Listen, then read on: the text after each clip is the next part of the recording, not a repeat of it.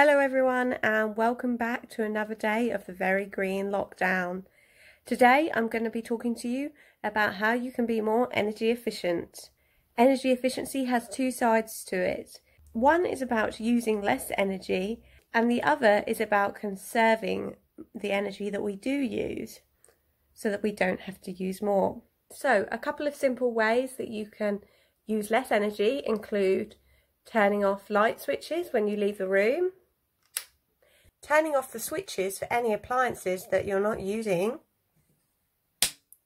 This includes monitors that are on standby. You might also want to think about getting a smart meter, which can help you measure your energy use and how much money you're spending on your energy and reduce that.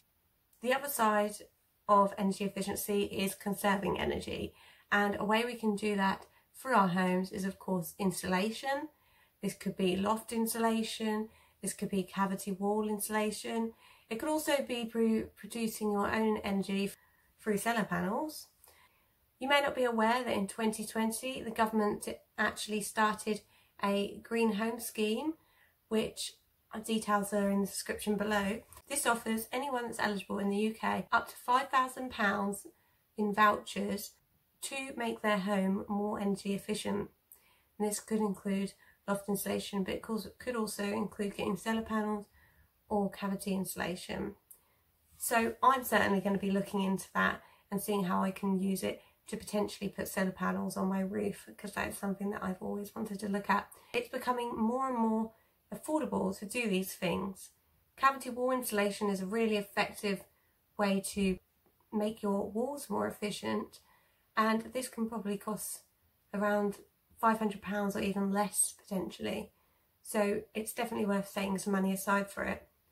However, if you can't afford to do any of these things and you don't have the time or the ability to access the government voucher right now, then there are some other low skilled, low budget, but high efficiency things that you can do.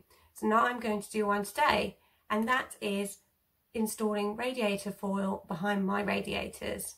The radiators that are placed on external walls can lose a lot of the heat that they produce through the walls and going outside.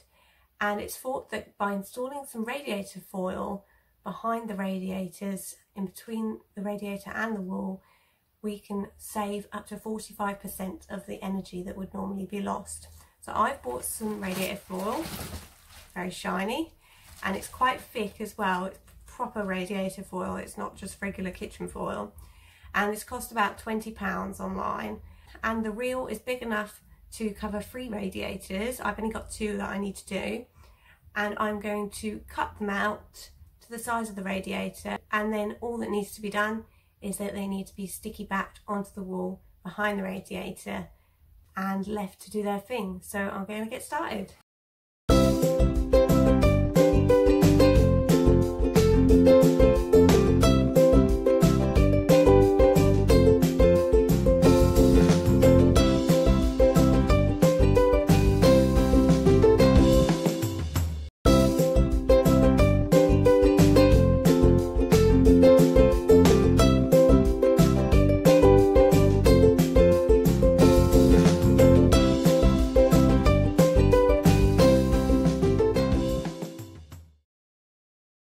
So as you can see, you can't even see the radiator foil now, and that was a really quick and easy job.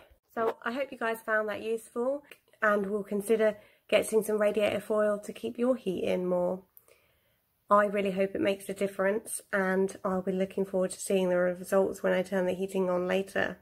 As always, thanks for joining me and I will see you again tomorrow. Don't forget to hit subscribe. See ya!